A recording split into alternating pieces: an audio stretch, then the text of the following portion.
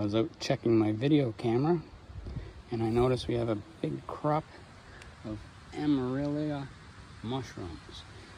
They're also called honey mushrooms and uh, they are edible apparently. But there's a bunch of different varieties of Armillarias. So unless you're 100% sure, should probably not dry them. You should do your mushroom foraging with someone that's well experienced with the mushrooms in your area. Better safe than sorry.